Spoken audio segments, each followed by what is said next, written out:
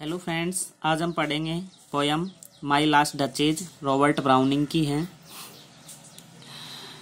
और जो ये माई लास्ट डचेज पोयम है, इसका जो फ़र्स्ट पब्लिकेशन हुआ था वो 1842 में हुआ था। जब ये पहली बार पब्लिश हुई 1842 में तो इसका टाइटल था वन इटली और जो वॉल्यूम था, अर्थात जो जिस ग्रंथ में ये पब्लिश हुई थी, वो था ड्रामेटिक लिरिक्स इस वॉल्यूम में पब्लिश हुई थी। सेकेंड बार पब्लिश हुई थी 1849 में।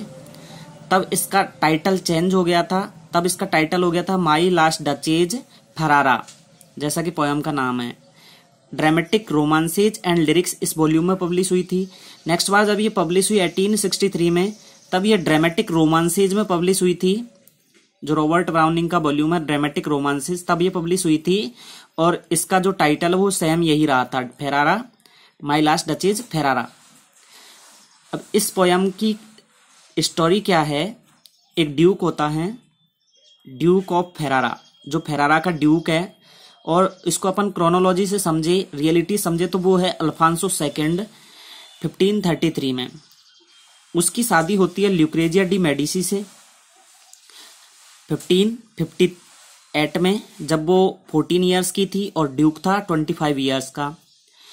इनकी जो ये ल्यूक्रेजिया डी मेडिसी है, डचेज है। इस, ड्यूक की वाइफ डचेज हो जाती है। तो डचेज है, इसकी डेथ हो जाती है 1561 में, जब ये 70 17 ईयर्स की थी। ऐसा कहते हैं कि इनको जो ल्यूक्रेजिया डी मेडिसी है, इसको ड्यूक ऑफ़ फेरारा के द्वारा मरवाया गया था। अल्फांसो सेकंड ने मरवा दिया था या मार दिया था जहर देकर। तो अब स्टोरी क्या है? एक मैसेंजर आता है। मैसेंजर कौन आता है? मैसेंजर का नाम क्या है? मैसेंजर ये है निकोलो निकोलोज मेड्रूज। ये निकोलोज मेड्रूज नाम का मैसेंजर आता है, जो किसका मैसेंजर है? फर्डिनेंड फ़र्स्ट का। फर्डिनेंड फ़र्स्ट है, जो काउंट ऑफ़ टायरोल है।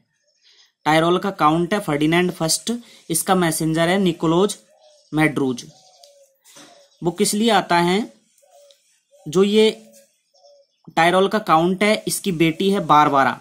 इसकी शादी का प्रस्ताव लेकर ये मैसेंजर आता है किसके पास? ड्यूक के पास। इसकी तो डेथ हो गई है। ये बिडुर बिदुर हो गया है अब बिडोवर हो गया है। तो ये काउंट ऑफ़ टायरोल अपनी बेटी बारबारा की शादी का प्रस्ताव के साथ भेजता है मैसेंजर निकोलोज मेड्रूज को ड्यूक ऑफ़ फेरारा के पास। तो वो मैसेंजर को, जो ड्यूक है, मैसेंजर को आर्ट गैलरी में ले जाता है और वहाँ पे जाके अपनी जो डचेस थी पहले वाली, उसकी पिक्चर दिखाता है। तो वहाँ से ये पोयम स्टार्ट होती है। और क्या है, देखो फ्रेंड्स इस पोयम में ये पोयम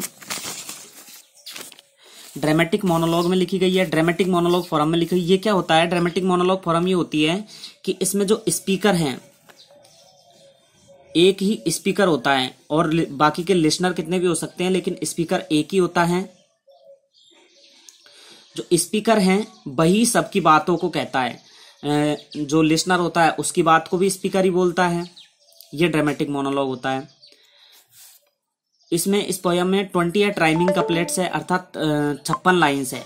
और वो किसमें लिखी गई है? इएम्बिक पेंटामीटर में। जब कपलेट इएम्बिक पेंटामीटर में लिखे जाते हो, जब राइमिंग कपलेट इएम्बिक पेंटामीटर में लिखे जाते हो तो उन कपलेट्स को हम कहते हैं हेरोइक कपलेट ठीक है पोयम ठीक है फ्रेंड्स?